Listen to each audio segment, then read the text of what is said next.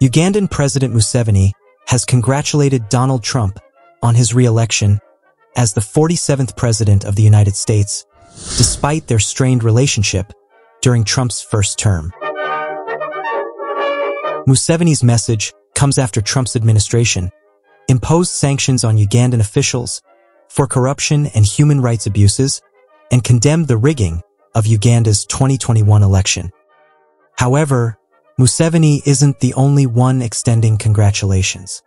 National Unity Platform President Bobi Wine and Ugandan Chief of Defense Forces Muhoozi also took to their official social media platforms to congratulate Trump on his win.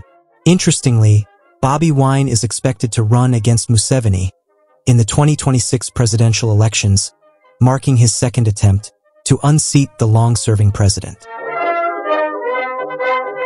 Bobi Wine's nationwide tours have resumed this week, with the opposition leader currently visiting the northern parts of Uganda.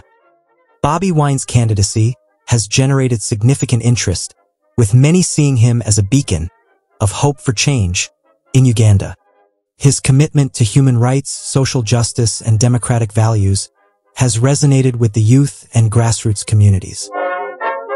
As Uganda approaches the 2026 elections, the political landscape is heating up. Will Museveni seek re-election, or will Bobi Wine's momentum propel him to victory? Only time will tell. Hi everyone, my name is Anita, manager Palm Hotel. We are located opposite Mukwano Mall along Rashid Khamis Road. You can get to us through the numbers on the screen. We have very affordable accommodation, free internet, DSTV and more other offers. You can follow us on all our social media platforms.